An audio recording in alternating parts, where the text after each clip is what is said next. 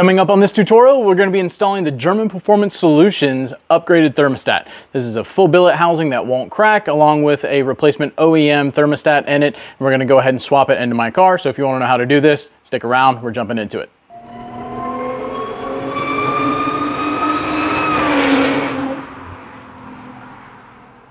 Welcome back to the channel everyone. As always, I'm Cameron, this is Audi C7 Owners, and on today's video, we're installing the German Performance Solutions billet thermostat housing along with the new thermostat, which is included in the kit when you get it. Some other things you're gonna need to buy, you're gonna need some crossover coolant pipe gaskets. You're going to need a third one that's for the middle of that crossover coolant pipe. So uh, I've already done quite a bit of prep work. You will need your supercharger removed for this. You will need your car in service position. If you don't know how to do either of those, check the pinned comment below the description. I've got links to videos on doing both of those.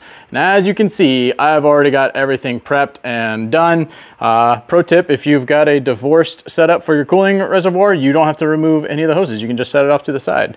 So uh, as you can see, in service position, I've got my Water pump pulley still attached with the belt. I don't think we're gonna need to re remove it. We'll see as we dive into it, but otherwise, uh, you can see down here some nasty crudiness. You can see some leaking coolant because my housing is just shot. So yeah, it's a great time to replace this and we're gonna go ahead and dive right into the DIY. Before you do anything, you need to get the car up on jack stands. Obviously, you have to remove the bumper, but while you're down there, you need to drain the engine coolant loop of coolant. Uh, on the C7, we have a nice nifty little screw there that you undo to drain everything. It's really easy to access once you have the bottom pans removed. So yeah, drain your bra engine of coolant and then you can start with the engine stuff. After taking a look at things, I do think it's gonna be a lot easier overall to remove the water pump pulley. So we got the belt still attached, which makes it easy to crack these bolts loose. They're not on very tight. So once we get that loosened up, we're going to get a 16 millimeter socket and go down to the tensioner for the serpentine belt, loosen it up and pull that off. If you take this off completely, and this is a very good time to replace this, but if you take it off completely and you're gonna reuse this, mark the direction of this belt so you know how it goes back on there. I suppose I should tell you this, this pulley is held on by three M10 triple squares.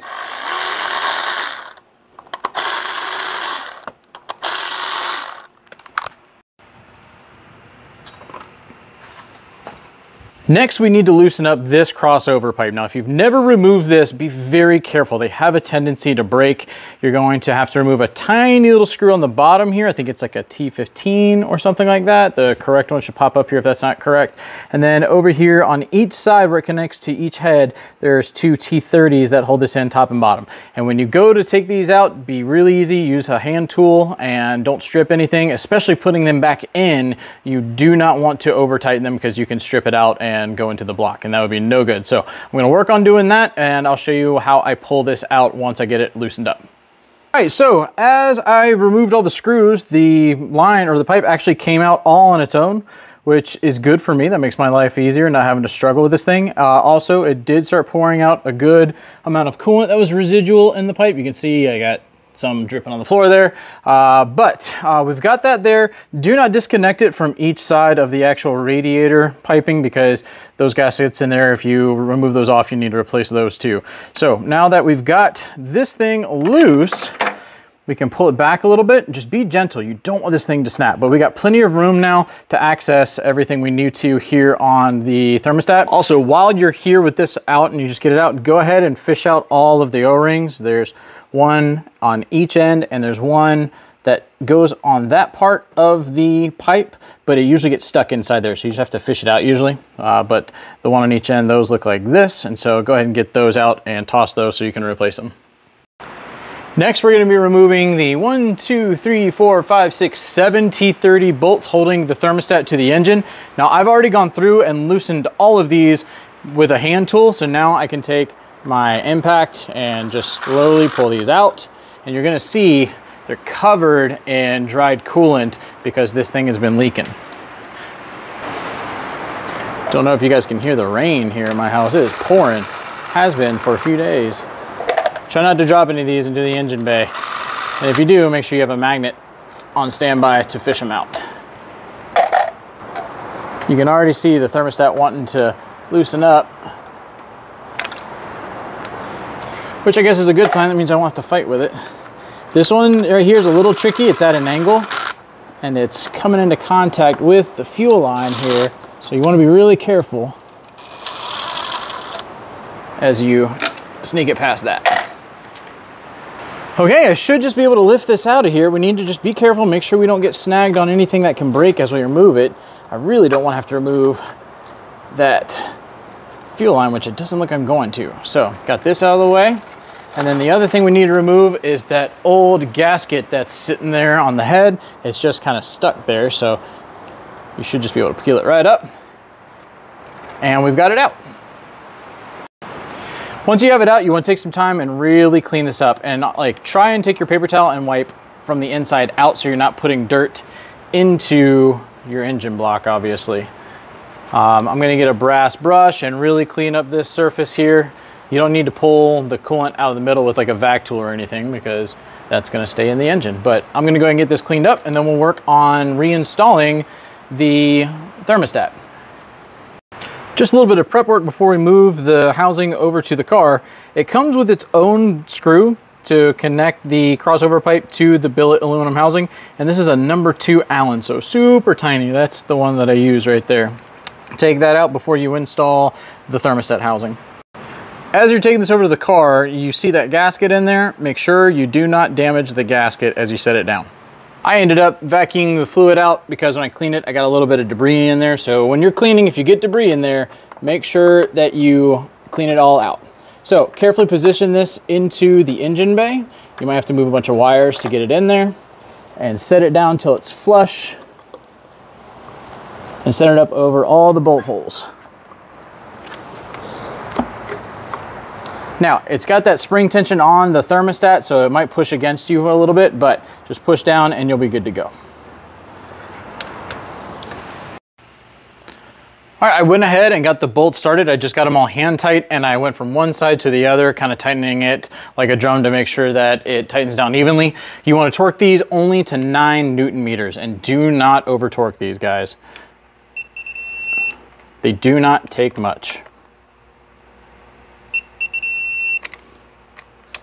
I'm going to go ahead and do this and uh, I'll get back with you. One thing, go back over everything twice because as you tighten it, they do have a tendency to loosen up. The next thing you wanna do is go ahead and install your replacement gaskets on the crossover pipe and you just wanna get them in there, set them in there, don't force them, don't damage them. They should just fit in there nice and snug. And then before you actually made it to the engine block, you want to reach in, grab a little bit of coolant, and rub the outside of the gasket there before you seal it to the engine block. We're gonna do that on both sides, and then we're going to install the gasket here, and I'll show you that.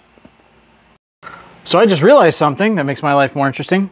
This is broken there's supposed to be another part here, which I was really curious because that gasket barely sat on there, but I got a replacement, thank goodness. Uh, you can see there should be more to that pipe there.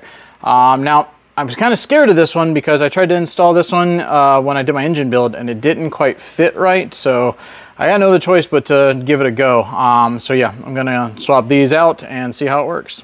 One hour later. Okay, finally, an hour later, got this thing replaced. Once we get it in there, and you can see the remnants of a little bit of grease there, that slid right in, no issues. And then if I can get the camera down below, you can see that little uh, two Allen, I got that in there. That's the first bolt I put in. And so now I'm gonna go and get the other four T30s, the two on each side plugged in. Then I gotta connect a bunch of other hoses and uh, we'll get to finishing this job up. Okay, I got all four bolts in from each side of that coolant crossover pipe. I need to button up all the other things like the vacuum line and the uh, coolant sensor, temperature sensor. Those four bolts, the one with the T30s on each end, they get torqued down to nine Newton meters and do not over torque those either. Okay guys, uh, that about wraps it up for this DIY. Button everything back up, put it together. If you have a divorced coolant loop, you got a big advantage here. Without even put the supercharger on, you can go ahead and put a vacuum bleed tool on your coolant reservoir for the engine loop and you can pull vacuum, check the gauge. If it holds for 10 to 15 minutes or so, then you know you're good to go. Put the car back together, vacuum bleed afterwards. If not, if you don't have a divorce loop, then you gotta do it the old school way, which is put everything back together, pray, and then fill it with water or antifreeze and uh, check for leaks afterwards.